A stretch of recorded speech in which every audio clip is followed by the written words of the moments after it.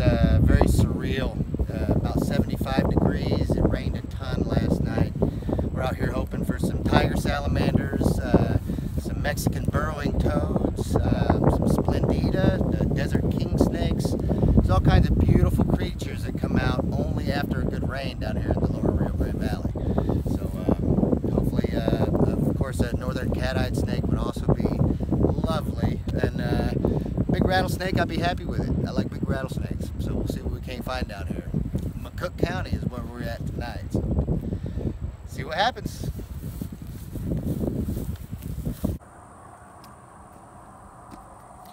Tragic. It's horrible that people uh, leave their animals on the side of the road. Uh, I've rescued uh, kittens, uh, two dogs. It's a shame, people. This one's too scared to come up. I have some extra dog food, but it, it won't come up.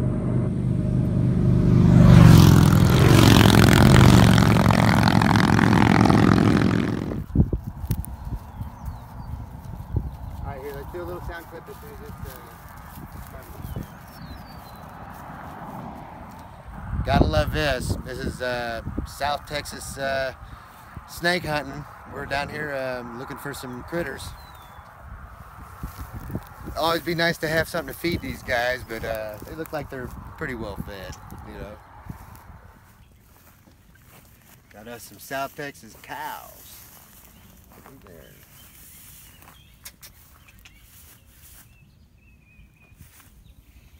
Ain't got nothing for you. Sorry. Ain't got nothing for you. Where the snakes at?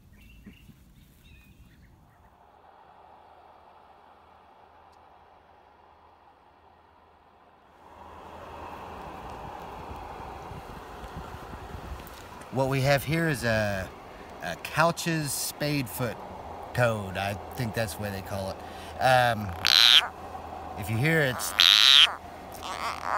it's got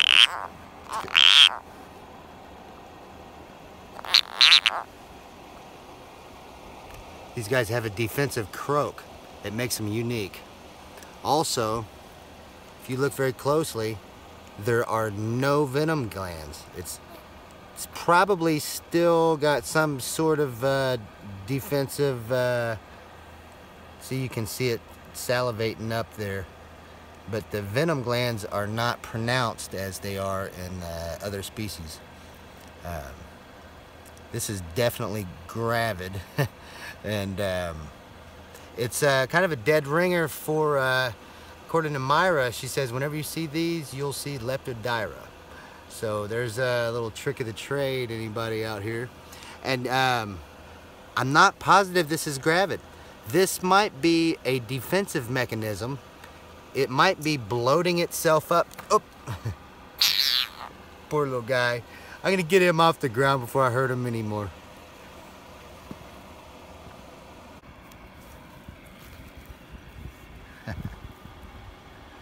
what we have here is a large wolf spider.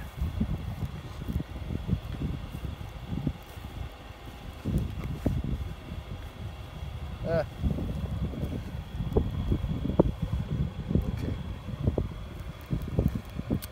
As you can see, they have nice, nice sharp fangs. And that is a pretty good size one right there. We'll let it get on its way.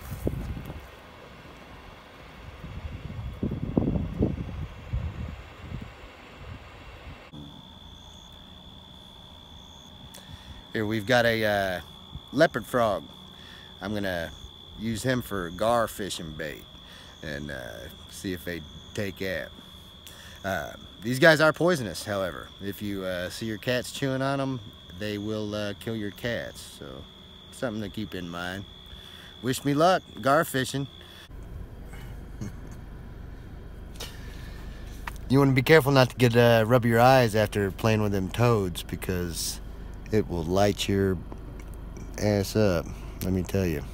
Gotta love that. And I know better. Just, uh, those toads are poisonous. Gotta be aware of that. Now my eye's gonna be burning for a couple hours, but oh well. Part of it.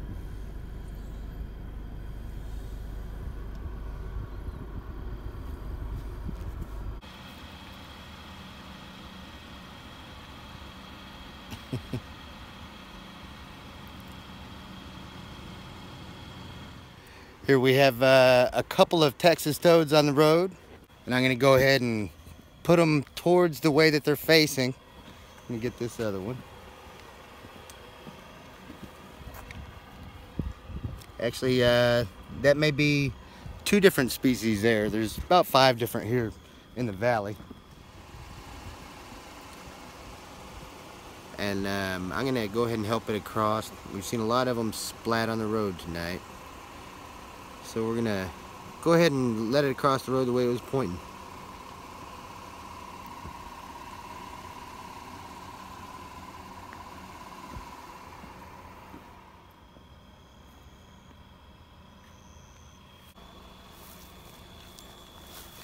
Yeah, I'm actually, uh, I'm a little careful when I'm moving them off the road um, because sometimes they might be trying to get to the other side. So uh, sometimes you uh, might think that you're helping these uh, creatures by moving them off the road when they're just, it's the third person that stopped and helped them across the road and it's the wrong way. So, you know, you got to be careful uh, you're not moving them off to the wrong side of the road. So, um, I let him kind of naturally make its way over there. You know, if it would have uh, tried going the other way across the road, I would have went ahead and helped it across the other way. So just something to keep in mind. If you're moving turtles or uh, frogs off the road, you know, kind of kind of see if there's any water around that they're moving towards and help them towards the water.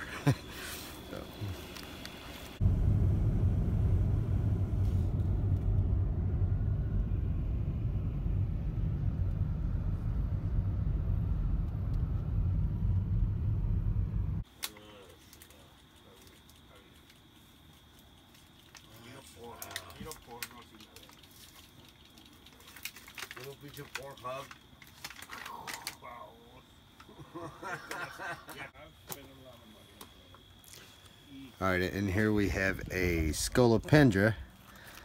Whenever you hear me talking about these guys, oh,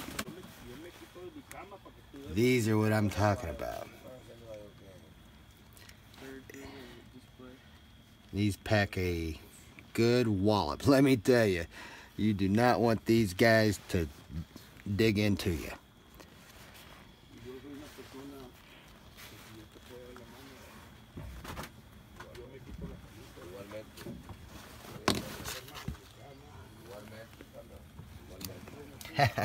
he did not want to go back in there.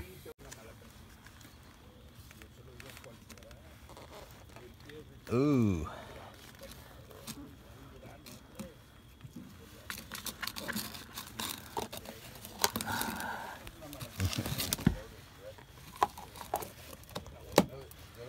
You want to be very gentle with these guys because they are delicate. Here's one that we're gonna we're gonna be getting to a good buddy of mine for a little project he's got, and uh, hopefully the, that egg sac will be viable. And these um, they're Latrodectus, I guess is what you'd call them. Uh, many different subspecies. Uh, these are interesting. They have a stripe on the top of their abdomen as well as underneath. She's not necessarily going to leave her egg sac.